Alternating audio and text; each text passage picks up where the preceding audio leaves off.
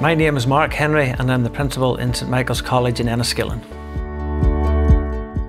The overall purpose for, for pursuing this project was, was twofold. Firstly, um, we wanted to become much more environmentally friendly um, and, and, reduce our carbon footprint. And this project um, has allowed us to reduce our carbon emissions by 55 tonnes per year. And secondly, we wanted to improve the, the working environment here for both our staff and our students. Um, and this project has certainly allowed us to do that. By taking part in this project, we estimate that our lighting costs will be reduced by £16,000 per year. The reaction of both the staff and the pupils has been extremely positive. I think it would be fair to say that they're very surprised even by the, the massive improvement in the quality of lighting across the entire school plant.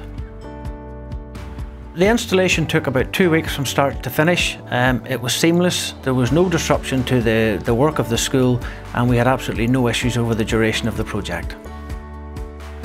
As a past pupil of St Michael's, Carl Fair was very keen to make St Michael's aware of the benefits of upgrading our lighting system to LED and the security involved in entering a seven-year partnership.